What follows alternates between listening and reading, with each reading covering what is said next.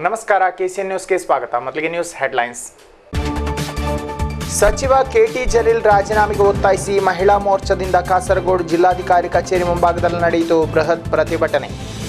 ಇಡಿ, NIA ವಿಚಾರಣೆ ಎದುರಿಸುತ್ತಿರುವ ಜಲೀಲ್ ಒಂದು ಕ್ಷಣವೂ ಸಚಿವನಾಗಿ ಮುಂದುವರಿಯುವ ನೈತಿಕತೆ ಇಲ್ಲವೆಂದ ಮಹಿಳಾ ಮೋರ್ಚಾ ಕಾರ್ಯಕರ್ತರು. ತುಳು ಮಂದಿಯ ಸ್ವಂತಿಕೆಯ ಪ್ರತೀಕವಾದ ತುಳು ಭವನಕ್ಕೆ ಚಾಲನೆ.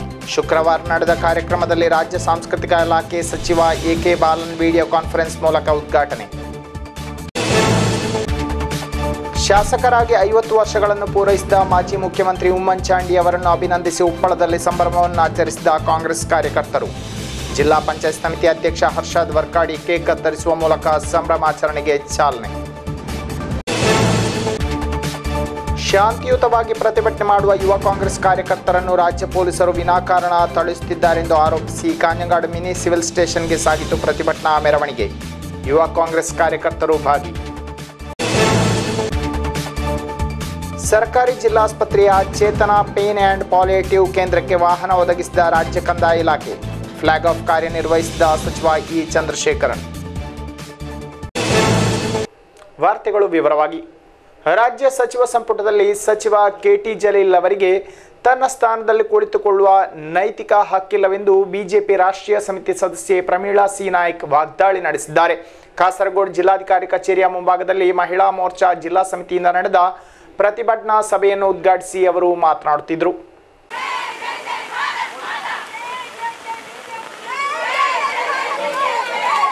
ಇಡಿ ಹಾಗೂ ಎನ್ಐಎ ವಿಚಾರಣೆ ಎದುರಿಸುತ್ತಿರುವ ಸಚಿವ ಜಲೀಲ್ ರಾಜೀನಾಮೆಗೆ ಒತ್ತಾಯಿಸಿ ಮತ್ತು ಜುವೆಲ್ಲರಿ ಹಣ ನಿಕ್ಷೇಪ ವಿಚಾರದಲ್ಲಿ ಎಂಸಿ ಕಮರುದ್ದೀನ್ ಬಂಧನಕ್ಕೆ ಆಗ್ರಹಿಸಿ ಮಹಿಳಾ ಮೋರ್ಚಾ ಜಿಲ್ಲಾ ಸಮಿತಿಯಿಂದ ಜಿಲ್ಲಾಧಿಕಾರಿ ಕಚೇರಿಗೆ ಪ್ರತಿಭಟನಾ ಮೆರವಣಿಗೆ ಸಾಗಿತು. ಜಿಲ್ಲಾ ಕಚೇರಿ ದ್ವಾರದ ಬಳಿ ಪೊಲೀಸರು ಬ್ಯಾರಿಕೇಡ್ಗಳನ್ನು ಬಳಸಿ ಮಹಿಳಾ ಕಾರ್ಯಕರ್ತರನ್ನು ತಡೆದರು. ತರುವಾಯ ನಡೆದ ಪ್ರತಿಭಟನಾ ಸಭೆಯನ್ನು ಬಿಜೆಪಿ ರಾಷ್ಟ್ರೀಯ ಸಮಿತಿ ಸದಸ್ಯೆ ಪ್ರಮೀಳಾ ಸಿ. ನಾಯ್ಕ್ ಉದ್ಘಾಟಿಸಿದರು.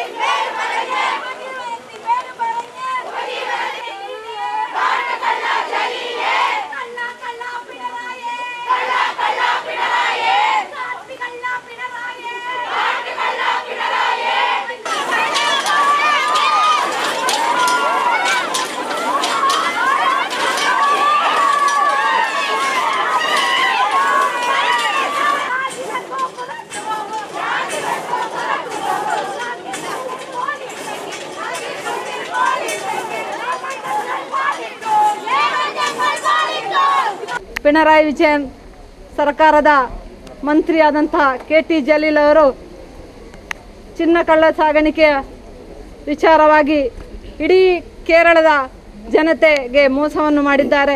ಈ ವಿಚಾರವಾಗಿ ನಾವು ಇವತ್ತು ಮಹಿಳಾ ಮೋರ್ಚಾದ ಧರಣಿಯನ್ನು ಮಾಡ್ತಾ ಇದ್ದೇವೆ. ಜಿಲ್ಲಾ ಮಹಿಳಾ ಮೋರ್ಚಾ ಅಧ್ಯಕ್ಷೆ ಜನನಿ ಕಾರಡ್ಕ ಅಧ್ಯಕ್ಷತೆ ವಹಿಸಿದ್ರು. ಬಿಜೆಪಿ ಜಿಲ್ಲಾ ಪ್ರಧಾನ ಕಾರ್ಯದರ್ಶಿ ವೇಲಾಯ್ದನ್ ಕೊಡಬಲ ಮುಖ್ಯ ಭಾಷಣ ಮಾಡಿದ್ರು.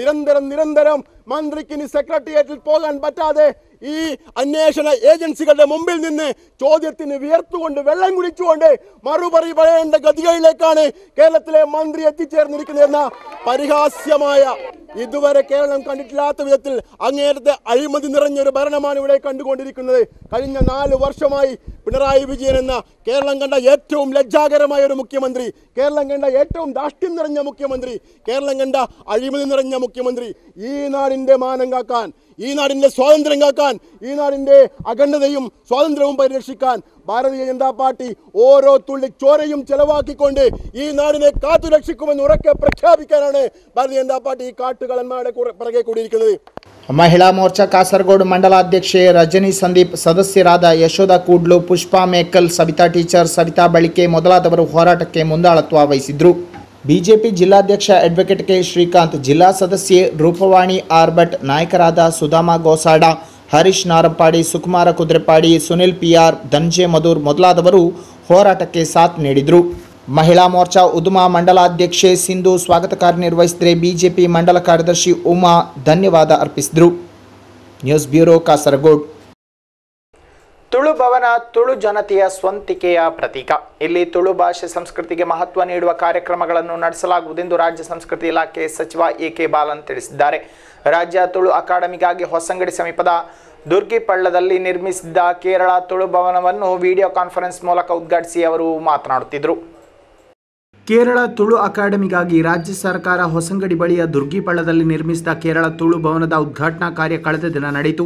ಶುಕ್ರವಾರ ಸಂಜೆ ನಡೆದ ಸಮಾರಂಭದಲ್ಲಿ ವಿಡಿಯೋ ಕಾನ್ಫರೆನ್ಸ್ ಮೂಲಕ ರಾಜ್ಯ ಸಂಸ್ಕೃತಿ ಇಲಾಖೆ ಸಚಿವ ಎ. ಬಾಲನ್ ಉದ್ಘಾಟಿಸಿದರು. ಬಳಿಕ ಮಾತನಾಡಿದ ಅವರು, ವೈವಿಧ್ಯಮಯ ಯೋಜನೆಗಳ ಜಾರಿಯ ಮೂಲಕ ರಾಜ್ಯದ ಸಾಂಸ್ಕೃತಿಕ ವಲಯವನ್ನು ಸಂಪನ್ನಗೊಳಿಸಲು ಸಾಧ್ಯವಾಗಿದೆ. ತುಳು ಭವನ, ತುಳು ಜನತೆಯ ಸ್ವಂತಿಕೆಯ ಪ್ರತೀಕವಾಗಿದ್ದು, ತುಳು ಭಾಷೆ ಸಂಸ್ಕೃತಿಗೆ ಇಲ್ಲಿ ಮಹತ್ವ ನೀಡುವ ಕಾರ್ಯಕ್ರಮಗಳನ್ನು ನಡೆಸಲಾಗುವುದೆಂದು ಹೇಳಿದರು. കാസർഗോഡ് ജില്ലയിൽ കഴിഞ്ഞ ദിവസം കേരളീയ സാംസ്കാരിക നവോത്ഥാനത്തിന്റെ നായകൻ എന്ന് തന്നെ പറയാവുന്ന സുബ്രഹ്മണ്യൻ തിരുവുമ്പിന്റെ പേരിൽ ഒരു നാൽപ്പത്തിരണ്ട് കോടി രൂപ ചെലവിൽ ഒരു സാംസ്കാരിക നിലയം ഉദ്ഘാടനം ഓൺലൈനിൽ നടത്താൻ സാധിച്ചത്. ഗാന്ധിജിയുടെ പാദസ്പർശം കൊണ്ട് ധന്യമായ പ്രദേശങ്ങൾ കേന്ദ്രീകരിച്ചുകൊണ്ട് നിരവധി സെമിനാറുകളും അതുപോലെ തന്നെ വ്യത്യസ്തമായ പരിപാടികളും നമുക്ക് നടത്താൻ സാധിച്ചു ರಾಜ್ಯ ಕಂದಾಯ ಸಚಿವ ಇ ಚಂದ್ರಶೇಖರನ್ ಕಾರ್ಯಕ್ರಮದ ಅಧ್ಯಕ್ಷತೆ ವಹಿಸಿದರು ಬಳಿಕ ಸಭಿಕರನ್ನುದ್ದೇಶಿಸಿ ಮಾತನಾಡಿದ ಅವರು ತುಳುನಾಡಿನ ಹೆಮ್ಮೆಯ ಸಂಕೇತವಾಗಿ ಭಾಷಾ ಅಲ್ಪಸಂಖ್ಯಾತರ ಜಿಲ್ಲೆಯಾಗಿರುವ ಕಾಸರಗೋಡಲ್ಲಿ ತುಳು ಅಕಾಡೆಮಿ ಬೆಳೆದು ಬಂದಿರುವುದು ಸರ್ಕಾರ ತುಳು ಭಾಷೆಗೆ ನೀಡಿರುವ ಮಾನ್ಯತೆಯ ಸಂಕೇತವಾಗಿದೆ ಸುದೀರ್ಘ ಸಾಂಸ್ಕೃತಿಕ ಹಿನ್ನೆಲೆಯ ತುಳು ಭಾಷೆಯ ಸಮೃದ್ಧತೆಯನ್ನು ಜಗದಗಲ ವ್ಯಾಪಿಸುವಲ್ಲಿ ಅಕಾಡೆಮಿ ಇನ್ನಷ್ಟು ಕಾರ್ಯಚಟುವಟಿಕೆಗಳನ್ನು ಹಮ್ಮಿಕೊಳ್ಳಬೇಕೆಂದು ಅಭಿಪ್ರಾಯಪಟ್ಟರು യക്ഷഗാനത്തെ പോലെയുള്ള കലാപരിപാടികൾ സംഘടിപ്പിക്കുന്നതിലും ആ കലാപരിപാടികളെ ഒരു വലിയ ജനതയുടെ ജനതയാകെ അതിന്റെ പിന്നിൽ അണിനിരത്തുന്നതിലും ഈ മേഖലയിലുള്ള സാംസ്കാരിക നായകന്മാർ കലാരംഗത്തെ ഏറ്റവും വലിയ താല്പര്യമുള്ള ആളുകൾ അതിനുവേണ്ടി നടത്തുന്ന പരിശ്രമങ്ങളും എല്ലാം നമുക്കറിയാവുന്നതാണ്. അത്തരമൊരു സാഹചര്യത്തിൽ ഈ തുളു ഭാഷയെ ഭരണഘടനയുടെ എട്ടാം ഷെഡ്യൂളിൽ ഉൾപ്പെടുത്തണം എന്നാവശ്യപ്പെട്ടുകൊണ്ടുള്ള നിരന്തരമായ ആവശ്യം പോലും പല സന്ദർഭങ്ങളിലും ഉയർന്നു വന്നത് ഞാൻ ഓർക്കുകയാണ്. ವೆಂಕಟರಾಜ ಪುಣಿಚಿತ್ತಾಯ ಸ್ಮಾರಕ ಲೈಬ್ರರಿಯನ್ನು ಈ ಸಂದರ್ಭದಲ್ಲಿ ಜಿಲ್ಲಾ ಪಂಚಾಯತ್ ಅಧ್ಯಕ್ಷ ಎಜಿಸಿ ಬಶೀರ್ ಉದ್ಘಾಟಿಸಿದರು. ಬ್ಲಾಕ್ ಪಂಚಾಯತ್ ಅಧ್ಯಕ್ಷ ಎ ಕೆ ಎಂ ಅಶ್ರಫ್ ಕಾರ್ಯಾಲಯ ಉದ್ಘಾಟಿಸಿದರು. ತುಳು ಅಕಾಡೆಮಿಯ ತ್ರೈಮಾಸಿಕ ಪತ್ರಿಕೆಯಾದ ತೆಂಬೆರೆ ಹಾಗೂ ಜಿಲ್ಲಾ ಪಂಚಾಯತ್ ಹೊರತಂದಿರುವ ತೌಳವ ಸಾಂಸ್ಕೃತಿಕ ಕೃತಿಯನ್ನು ಸಚಿವರು ಬಿಡುಗಡೆಗೊಳಿಸಿದರು. ಅಕಾಡೆಮಿ ಕಾರ್ಯಾಲಯದ ಕಂಪ್ಯೂಟರ್ ಕೊಠಡಿಯನ್ನು ಬ್ಲಾಕ್ ಪಂಚಾಯತ್ ಸದಸ್ಯ ಕೆಆರ್ ಜಯಾನಂದ ಉದ್ಘಾಟಿಸಿದರು. ಶಾಸಕ ಎಂಸಿ ಕಮರುದ್ದೀನ್ ಜಿಲ್ಲಾ ಪಂಚಾಯತ್ ಸ್ಥಾಯಿ ಸಮಿತಿ ಅಧ್ಯಕ್ಷ ಹರ್ಷದ್ ವರ್ಕಾಡಿ, ಕರ್ನಾಟಕ ಯಕ್ಷಗಾನ ಅಕಾಡೆಮಿ ಸದಸ್ಯ ಅಡ್ವೊಕೇಟ್ ದಾಮೋದರ್ ಶೆಟ್ಟಿ, ಕೇರಳ ಪಾರ್ಥಿಸುಬ್ಬ ಯಕ್ಷಗಾನ ಕಲಾಕ್ಷೇತ್ರದ ಅಧ್ಯಕ್ಷ ಎಂ ಶಂಕರ್ ರೈ ಮಾಸ್ಟರ್, ಮೀಂಜಾ ಪಂಚಾಯತ್ ಅಧ್ಯಕ್ಷೆ ಶಂಶಾದ್ ಶುಕೂರ್, ನಾಯಕರಾದ ಮೂಸಾ ಬಿವಿ ರಾಜನ್, ಡಿಎಂಕೆ ಮೊಹಮ್ಮದ್ ಮೊದಲಾದವರು ಈ ಸಂದರ್ಭದಲ್ಲಿ ಉಪಸ್ಥಿತರಿದ್ದರು. ಜಿಲ್ಲಾಧಿಕಾರಿ ಡಾಕ್ಟರ್ ಡಿ ಸಜಿತ್ ಬಾಬು ಸ್ವಾಗತ ಕಾರ್ಯನಿರ್ವಹಿಸಿ ಪ್ರಾಸ್ತಾವಿಕ ಮಾತುಗಳನ್ನಾಡಿದರು. ತುಳು ಅಕಾಡೆಮಿ ಅಧ್ಯಕ್ಷ ಎಂ. ಉಮೇಶ್ ಶಾಲಿಯಾನ್ ಧನ್ಯವಾದ ಅರ್ಪಿಸಿದರು. ಅಕಾಡೆಮಿ ಸದಸ್ಯರು ಉಪಸ್ಥಿತರಿದ್ದರು. ಸಂಸದ ರಾಜಮೋಹನ್ ಉಣ್ಣಿತ್ತಾನ್ ಸಮಾರಂಭದಲ್ಲಿ ಮುಖ್ಯ ಅತಿಥಿಗಳಾಗಿ ಪಾಲ್ಗೊಂಡಿದ್ದರು. ಪುದುಪಳ್ಳಿ ಶಾಸಕರಾಗಿ ಸುದೀರ್ಘ ಐವತ್ತು ವರ್ಷಗಳನ್ನು ಪೂರೈಸಿದ ಮಾಜಿ ಮುಖ್ಯಮಂತ್ರಿ ಹಿರಿಯ ಕಾಂಗ್ರೆಸ್ ನಾಯಕ ಉಮ್ಮನ್ ಚಾಂಡಿ ಅವರನ್ನು ಅಭಿನಂದಿಸಿ ಉಪ್ಪಳದಲ್ಲಿ ಕಾಂಗ್ರೆಸ್ ಕಾರ್ಯಕರ್ತರು ಸಂಭ್ರಮವನ್ನು ಆಚರಿಸಿದರು. ಜಿಲ್ಲಾ ಪಂಚಾಯತ್ ಸಮಿತಿ ಅಧ್ಯಕ್ಷ ಹರ್ಷಾದ್ ವರ್ಕಾಡಿ ಕೇಕ್ ಕತ್ತರಿಸುವ ಮೂಲಕ ಸಂಭ್ರಮಾಚರಣೆಗೆ ಚಾಲನೆ ಇತ್ತರು ಪುದುಪಳ್ಳಿ ಶಾಸಕರಾಗಿ ಸುದೀರ್ಘ ಐವತ್ತು ವರ್ಷಗಳನ್ನು ಪೂರೈಸಿದ ಮಾಜಿ ಮುಖ್ಯಮಂತ್ರಿ, ಹಿರಿಯ ಕಾಂಗ್ರೆಸ್ ನಾಯಕ ಉಮ್ಮನ್ ಚಾಂಡಿ ಅವರನ್ನು ಅಭಿನಂದಿಸಿ ಉಪ್ಪಳದಲ್ಲಿ ಕಾಂಗ್ರೆಸ್ ಕಾರ್ಯಕರ್ತರು ಸಂಭ್ರಮವನ್ನು ಆಚರಿಸಿದರು. ಉಪ್ಪಳ ತಾಲೂಕು ಆಸ್ಪತ್ರೆಯ ಪರಿಸರದಲ್ಲಿ ನಡೆದ ಕಾರ್ಯಕ್ರಮದಲ್ಲಿ ಉಮ್ಮನ್ ಚಾಂಡಿ ಭಾವಚಿತ್ರವಿರುವ ಕೇಕ್ ಕತ್ತರಿಸಿ ಆಸ್ಪತ್ರೆಯ ರೋಗಿಗಳಿಗೆ ಉಪಹಾರಗಳನ್ನು ವಿತರಿಸಲಾಯಿತು. ಉಮ್ಮನ್ ಚಾಂಡಿ ಫಿಫ್ಟಿ ಕಾರ್ಯಕ್ರಮವನ್ನು ವಿಶಿಷ್ಟ ರೀತಿಯಲ್ಲಿ ಆಚರಿಸಲಾಯಿತು. ಕಾಸರಗೋಡು ಜಿಲ್ಲಾ ಪಂಚಾಯತ್ ಸ್ಥಾಯಿ ಸಮಿತಿ ಅಧ್ಯಕ್ಷ ಹರ್ಷಾದ್ ವರ್ಕಾಡಿಗೆ ಕತ್ತರಿಸುವ ಮೂಲಕ ಚಾಲನೆ ಇತ್ತರು ಮುಖ್ಯಮಂತ್ರಿ ಪರಿಹಾರ ನಿಧಿಯ ಮೂಲಕ ಕೇವಲ ಮಂಜೇಶ್ವರ ವಿಧಾನಸಭಾ ಕ್ಷೇತ್ರಕ್ಕೆ ತಾನು ಮುಖ್ಯಮಂತ್ರಿಯಾಗಿದ್ದಂತಹ ಕಾಲಘಟ್ಟದಲ್ಲಿ ಹದಿನಾಲ್ಕು ಕೋಟಿ ರೂಪಾಯಿಗಳನ್ನು ಮಂಜೇಶ್ವರ ಶಾಸಕರಾಗಿದ್ದಂತಹ ಪಿ ಬಿ ಅಬ್ದುಲ್ ರಜಾಕ್ ರವರ ಸಹಕಾರದೊಂದಿಗೆ ಈ ಒಂದು ವಿಧಾನಸಭಾ ಕ್ಷೇತ್ರದಲ್ಲಿ ನೆರವು ನೀಡಿದಂತಹ ಮುಖ್ಯಮಂತ್ರಿಯಾಗಿದ್ದರು ಕಾಂಗ್ರೆಸ್ ನಾಯಕರಾದ Ummer Borkala, PM Khader, Guruvappa Manjeshwar, Diwakar S J O M Rasheed master, Nagesh Manjeshwar Arif Machampady, Malinga Manjeshwar, Hameed Kaniyoor, Naveen Rai Ambar, Azeez Kallur youth Congress ನಾಯಕರಾದ ಇರ್ಷಾದ್ ಮಂಜೇಶ್ವರ, ಶರೀಫ್ ಅರಿಬೈಲ್, ನಾಸರ್ ಮೊಗ್ರಾಲ್, ಹುಸೇನ್ ಕುಬಣೂರು, ಸುಧಾಕರ್ ಉಜಿರೆ ಮನ್ಸೂರ್ ಕಂಡತಿಲ್, ಶರೀಫ್ ಪಿ ಕೆ ನಗರ್ ಸಂಶುದ್ದೀನ್ ಅಜ್ಮಲ್ ಮೊದಲಾದವರು ಈ ಸಂದರ್ಭದಲ್ಲಿ ಉಪಸ್ಥಿತರಿದ್ದರು. Abdul Rahman Udyavar news bureau Manjeshwar. ರೈತರಿಗೆ ಮಧ್ಯವರ್ತಿವಿಲ್ಲದೆ ಸ್ವಂತ ಕೃಷಿ ಉತ್ಪನ್ನಗಳನ್ನು ಮಾರಾಟ ಮಾಡುವ ಸಲುವಾಗಿ ಸುಭೀಕ್ಷ ಕೇರಳ ಯೋಜನೆಯಡಿಯಲ್ಲಿ ಅಭಿವೃದ್ಧಿಗೊಳಿಸಿದ ಸುಭೀಕ್ಷಾ ಕಾಸರಗೋಡ್ ಆ್ಯಪ್ ಅನ್ನು ಬಿಡುಗಡೆಗೊಳಿಸಲಾಯಿತು. ರಾಜ್ಯದಲ್ಲಿ ಮೊತ್ತ ಮೊದಲಾಗಿ ಒಂದು ಜಿಲ್ಲಾಡಳಿತ ಈ ರೀತಿಯಾಗಿ ಆ್ಯಪ್ ಅನ್ನು ಬಿಡುಗಡೆ ಮಾಡುತ್ತಿದೆ. ಜಿಲ್ಲಾಧಿಕಾರಿ ಡಾಕ್ಟರ್ ಡಿ. ಸಜಿತ್ ಬಾಬು ಜಿಲ್ಲಾಧಿಕಾರಿಗಳ ಕ್ಯಾಂಪ್ ಹೌಸಲ್ಲಿ ಬೆಳೆಸಿದ ಪಪ್ಪಾಯಿಯನ್ನು ಆ್ಯಪ್ ಮೂಲಕ ಮಾರಾಟ ಮಾಡಿ ಉದ್ಘಾಟನಾ ಕಾರ್ಯವನ್ನು ನಿರ್ವಹಿಸಲಾಯಿತು. നമ്മുടെ നമ്മളിപ്പോൾ പച്ചക്കറി വാങ്ങുമ്പോൾ ഒരു രൂപ നമ്മൾ ശരിക്കും ആ പച്ചക്കറിക്ക് നമ്മൾ പേ ചെയ്യുമ്പോൾ ഉപഭോക്താവ് പേ ചെയ്യുമ്പോൾ ആക്ച്വലി കർഷകന് കിട്ടുന്ന ഒരു പക്ഷേ ഇരുപത് പൈസയോ അല്ലെങ്കിൽ മുപ്പത് പൈസയോ ഒക്കെ മാത്രമാണ്. ബാക്കി മുഴുവൻ ഇടയ്ക്കുള്ള ആൾക്കാരും അല്ലെങ്കിൽ ട്രേഡറും എടുക്കുന്നൊരു സംവിധാനമുള്ളത് അപ്പോൾ അതിൽ നിന്നും വ്യത്യസ്തമായിട്ട് ഇപ്പോൾ നമ്മൾ ഈ ഡെവലപ്പ് ചെയ്യുന്ന ആപ്പ് എന്താണെന്ന് വെച്ച് കഴിഞ്ഞാൽ ഇതിൽ കർഷകന് തന്നെ ഒരു അദ്ദേഹത്തിന്റെ ഉൽപ്പന്നത്തിന്റെ വില ഫിക്സ് ചെയ്യാൻ പറ്റും.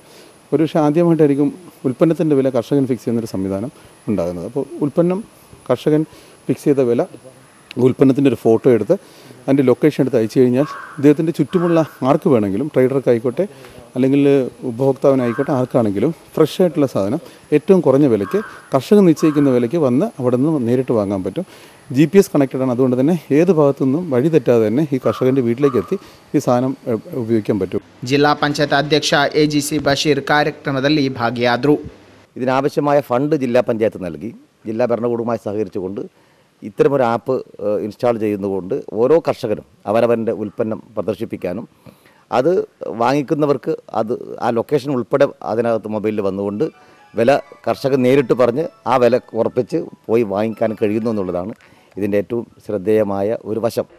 ಅಂತಾರಾಜ್ಯ ಮಧ್ಯೆ ಯಾವುದೇ ನಿರ್ಬಂಧಗಳಿಲ್ಲದೆ ಮುಕ್ತವಾಗಿ ಸಂಚರಿಸಬಹುದೆಂದು ಹೈಕೋರ್ಟ್ ತೀರ್ಪಿತ್ತಿದೆ ಜಿಲ್ಲಾಡಳಿತ ಗಡಿ ಮುಕ್ತಗೊಳಿಸದೇ ಇದ್ದುದನ್ನು ಪ್ರಶ್ನಿಸಿ ಬಿಜೆಪಿ ಜಿಲ್ಲಾಧ್ಯಕ್ಷ ಕೆ. ಶ್ರೀಕಾಂತ್ ಹೈಕೋರ್ಟ್ಗೆ ಅರ್ಜಿ ಸಲ್ಲಿಸಿದ್ದರು. ಈ ಕುರಿತು ವಾದ ಪ್ರತಿವಾದಗಳನ್ನು ಆಲಿಸಿ ಹೈಕೋರ್ಟ್ ತೀರ್ಪು ನೀಡಿದೆ. ಕೇಂದ್ರ ಸರ್ಕಾರವು ಲಾಕ್ಡೌನ್ ವಿನಾಯಿತಿಗಳನ್ನು ಘೋಷಿಸಿದರೂ ಗಡಿ ರಸ್ತೆಗಳನ್ನು ಮುಚ್ಚಿ ಗಡಿ ಭಾಗದ ಜನರ ಸಹಿತ ಸಾರ್ವಜನಿಕರಿಗೆ ಸಮಸ್ಯೆ ಉಂಟು ಮಾಡಿದ ಕಾಸರಗೋಡು ಜಿಲ್ಲಾ ಆಡಳಿತಾಧಿಕಾರಿಗಳ ನಡೆಯ ವಿರುದ್ಧ ಬಿಜೆಪಿ ಜಿಲ್ಲಾಧ್ಯಕ್ಷ ಅಡ್ವೊಕೇಟ್ ಕೆ ಶ್ರೀಕಾಂತ್ ಹೈಕೋರ್ಟ್ಗೆ ಅರ್ಜಿ ಸಲ್ಲಿಸಿದ್ರು. ಈ ಪ್ರಕರಣದಲ್ಲಿ ಇದೀಗ ಹೈಕೋರ್ಟ್ನಿಂದ ತೀರ್ಪು ಬಂದಿದೆ. ಇನ್ನು ಮುಂದೆ ಇತರ ರಾಜ್ಯಗಳಿಂದ ಆಗಮಿಸುವವರು ಜಾಗೃತ ಪೋರ್ಟಲ್ಗಳಲ್ಲಿ ಮಾಹಿತಿಗಳನ್ನು ನೀಡಿದರೆ ಮಾತ್ರ ಸಾಕು. ಡಿವೈಎಫ್ಐ ಮುಂದಾಳತ್ವದಲ್ಲಿ ಕಾಸರಗೋಡು ಪ್ರಧಾನ ಅಂಚೆ ಕಚೇರಿಯ ಮುಂಭಾಗದಲ್ಲಿ ಧರಣಿ ನಡೆಯಿತು. ಚಿನ್ನ ಕಳ್ಳ ಸಾಗಾಣಿಕೆ ಪ್ರಕರಣವನ್ನು ಬುಡಮೇಲುಗೊಳಿಸಲು ಕೇಂದ್ರ ಸಚಿವ ವಿ. ಮುರಳೀಧರನ್ ಯತ್ನಿಸುತ್ತಿದ್ದು, ಅವರು ತಮ್ಮ ಸ್ಥಾನಕ್ಕೆ ರಾಜೀನಾಮೆ ನೀಡಬೇಕೆಂದು ಒತ್ತಾಯಿಸಿ ಹೋರಾಟ ಹಮ್ಮಿಕೊಳ್ಳಲಾಯಿತು.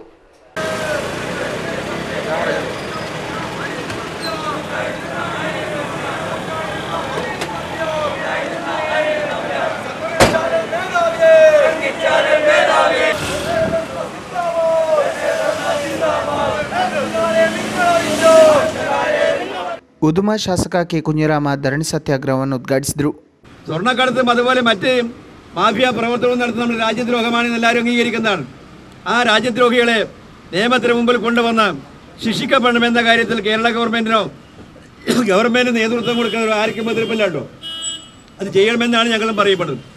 പക്ഷേ മുരളീധരനും അതുപോലെ ബി ജെ പിയിലെ ചില ആളുകളും ചേർന്ന് പറയുന്നത് ഇത് എൽ ഡി എഫിന്റെ പേരിൽ അതുപോലെ എൽ ഡി എഫ് ഗവൺമെന്റിന്റെ പേരിൽ കെട്ടിച്ച വെക്കാനുള്ള ശ്രമമാണ് നടത്തിക്കൊണ്ടിരിക്കുന്നത് അന്വേഷണ ഉദ്യോഗസ്ഥർ തയ്യാറാവാതിരിക്കുമ്പോൾ അന്വേഷണ ഉദ്യോഗസ്ഥരെ മാറ്റുകയാണ് അതാണ് കേന്ദ്ര ഗവൺമെൻറ് ചെയ്തുകൊണ്ടിരിക്കപ്പെടുന്നത് അതുകൊണ്ടാണ് ഞങ്ങൾ പറയുന്നത് ഈ നടപടി നിങ്ങൾ ശരിയായി അന്വേഷിക്കണം ആരാണ് കുറ്റക്കാരെന്ന് പറയണം കുറ്റം ചെയ്തവരാര് എന്ന കാര്യം മുരളീധരൻ്റെ ആദ്യത്തെ വർത്തമാനം നമുക്കെല്ലാം മനസ്സിലായതാണ് ಡಿವೈಎಫ್ಐ ಜಿಲ್ಲಾಧ್ಯಕ್ಷ ಪಿ ಕೆ ನಿಶಾಂತ್ ಜಿಲ್ಲಾ ಕಾರ್ಯದರ್ಶಿ ಸಿ ಜೆ ಸಜಿತ್ ರಾಜ್ಯ ಸಮಿತಿ ಸದಸ್ಯ ಕೆ ಸಬೀಶ್ ಸುಭಾಷ್ ಪಾಡಿ ಕೆ ಬಿ ನವೀನ್ ಮೊದಲಾದವರು ಮಾತನಾಡಿದರು ಪಿ ಶಿವಪ್ರಸಾದ್ ಸ್ವಾಗತ ಕಾರ್ಯ ನಿರ್ವಹಿಸಿದರು ಧರಣಿಯಲ್ಲಿ ಡಿವೈಎಫ್ಐ ನಾಯಕರು ಸಹಿತ ಕಾರ್ಯಕರ್ತರು ಭಾಗವಹಿಸಿದರು.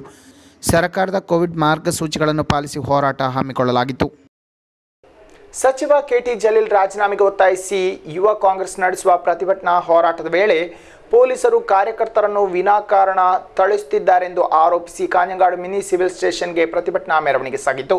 ಕೆಪಿಸಿಸಿ ನಿರ್ವಾಹಕ ಸಮಿತಿ ಸದಸ್ಯ ಪಿಕೆ ಫೈಜಲ್ ಹೋರಾಟಕ್ಕೆ ಚಾಲನೆ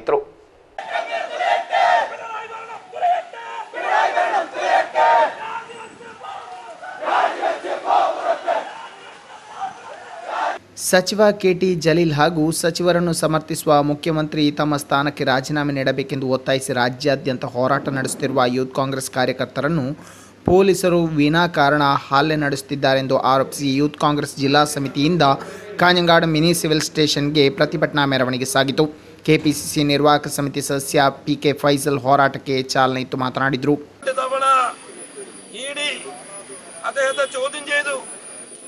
ഞാൻ പറയട്ടെ കേരളത്തിന്റെ ചരിത്രം കേരളത്തിലെ സി പി എമ്മിന്റെ മുഖ്യമന്ത്രിയും എൽ ഡി എഫിന്റെ മുഖ്യമന്ത്രിയും കേരളത്തിലെ സി പി എം പാർട്ടിയും എൽ ഡി എഫും ഒന്ന് പരിശോധിക്കണം.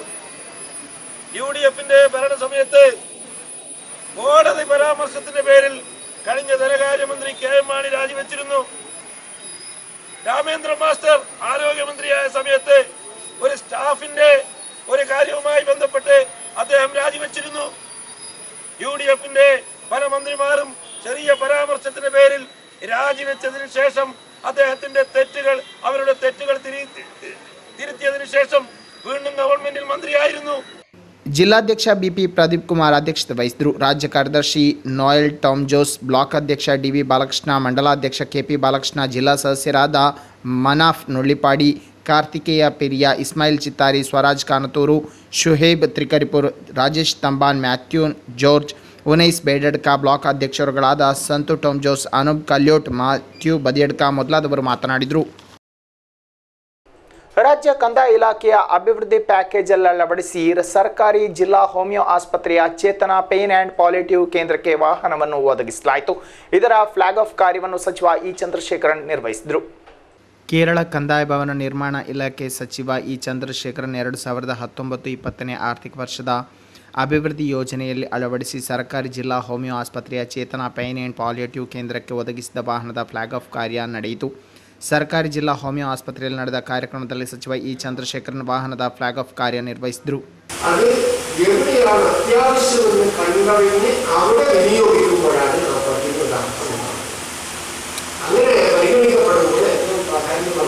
കാലത്താണ് ಈ പേരൻ വാലിയെ ಈ കൊടുക്കുന്ന ഭാഗമായ മുമ്പ് സുഖിലേക്കായിരുന്നു അപ്പോൾ ഇവിടെ ചേർന്ന പേരൻ ಅಭಿವೃದ್ಧಿ ಯೋಜನೆಯಲ್ಲಿ ಅಳವಡಿಸಿ ಒದಗಿಸಿದ ವಾಹನವನ್ನು ಮೆಡಿಕಲ್ ಕ್ಯಾಂಪಿಗೆ ಹಾಗೂ ರೋಗಿಗಳ ಅಗತ್ಯಕ್ಕೆ ಬಳಸಲು ಗಮನಿಸಬೇಕೆಂದು ಈ ಸಂದರ್ಭದಲ್ಲಿ ಸಚಿವರು ಹೇಳಿದರು. ಕಾಂಜಂಗಾಡು ನಗರಸಭಾಧ್ಯಕ್ಷ ಅಧ್ಯಕ್ಷ ವಿ ರಮೇಶ್ ಅಧ್ಯಕ್ಷತೆ ವಹಿಸಿದರು. Ward councillor H M Rasheed ಮುಖ್ಯ ಭಾಷಣ ಮಾಡಿದರು. ಜಿಲ್ಲಾ ಹೋಮಿಯೋ ಆಸ್ಪತ್ರೆ ಸೂಪರಿಂಟ್ ಡಾಕ್ಟರ್ ಕೆ ರಾಮಸುಬ್ರಹ್ಮಣ್ಯಂ ಸ್ವಾಗತ ಕಾರ್ಯ ನಿರ್ವಹಿಸಿದರು Chetana, pain and palliative convener doctor Ashwathi R S ಧನ್ಯವಾದ ಅರ್ಪಿಸಿದರು. ಕೋಟಚೇರಿಯ ರೈಲ್ವೆ ನಿಲ್ದಾಣ ರಸ್ತೆ ಬಳಿ ವ್ಯಾಪಾರಿಯೊಬ್ಬರು ತಂತಿ ತಗುಲಿ ಶಾಕಿನಿಂದ ಪ್ರಜ್ಞೆ ತಪ್ಪಿದ ಗಿಡುಗನನ್ನು ರಕ್ಷಿಸಿ ಮಾನವೀಯತೆ ಮೆರೆದಿದ್ದಾರೆ. ಸ್ಥಳೀಯ ವ್ಯಾಪಾರಿ ಸಿಪಿ ರಶೀದ್ ಈ ರೀತಿ ಪಕ್ಷಿಯನ್ನು ರಕ್ಷಿಸಿದ ಹೀರೋ. ಈ ಕುರಿತು ಒಂದು ವರದಿ.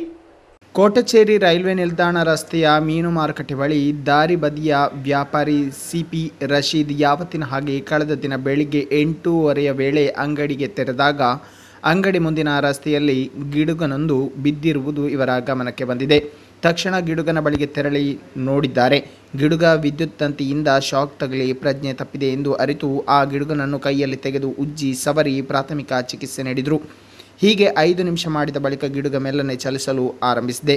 ಬಳಿಕ ನೀರನ್ನು ನೀಡಲಾಯಿತು. ಸ್ವಲ್ಪ ಹೊತ್ತಿನ ಬಳಿಕ ಅದು ಹಾರಲು ಆರಂಭಿಸಿದೆ.